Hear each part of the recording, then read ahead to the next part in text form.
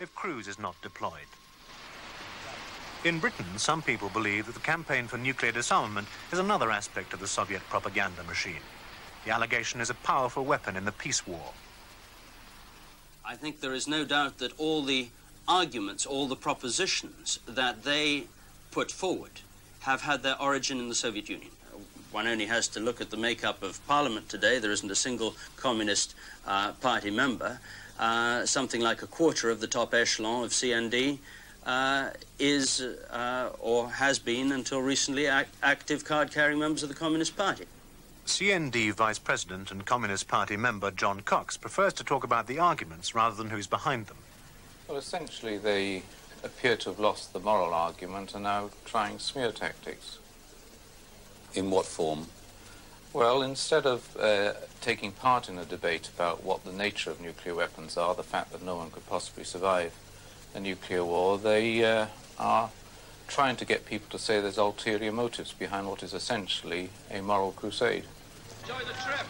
Mrs. Thatcher is certain she can win the argument, and she's lined up a team of ministers to help her.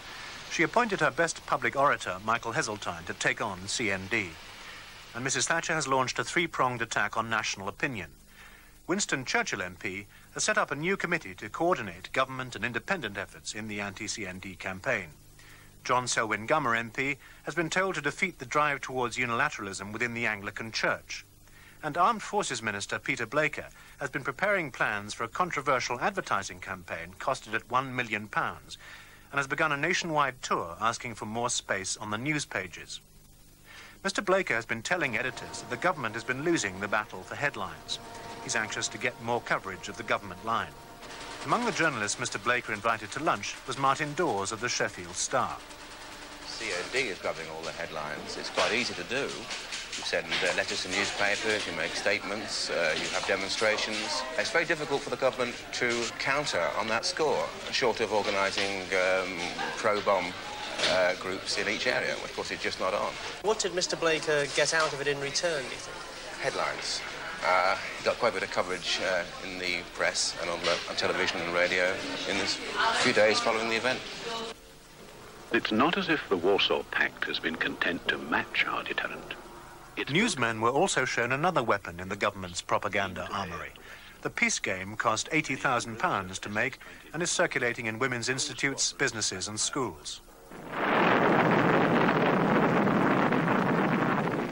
The Western world looked on the ruins of Hiroshima and Nagasaki in August 1945 and swore that such a horror must never happen again. Before even 12 months had passed, America had offered an agreement to scrap every one of her remaining atom bombs. Russia refused the offer. If they were to spend that sum of money on a film advocating their policy on employment and inflation, which is clearly a partisan point of view opposed by the uh, official opposition, then there'd be an outcry. But they are prepared to spend public money without our sanction to put a partisan point of view on the issue of nuclear weapons. I think it's quite wrong.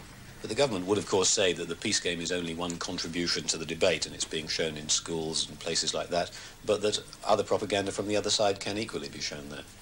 It can't equally be shown because we don't have the same resources, but the government in 1978 agreed to the UN resolution which said there should be money spent by all governments on peace education, and they suggested